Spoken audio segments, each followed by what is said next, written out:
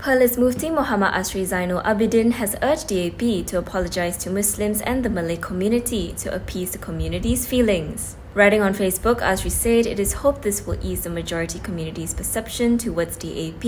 He added that if they refuse, DAP will be seen as the same party that Muslims were skeptical about and rejected before. His call came after DAP's recent apology to GPS and Sarawakians. Yesterday, DAP Secretary General Anthony Loke apologized to Sarawak Premier Abang Johari Openg on behalf of the party. This was over any statement by party leaders which had offended the Sarawak government and Sarawakians in the past. In a courtesy visit to Abang Johari's residence in Kuching, Loke said the discussion was held in a friendly manner. Shortly after Loke's statement, DAP chairperson Lim Guan Eng also issued an apology for his remarks that may have offended Abang Johari and the GPS Sarawak state government in the past.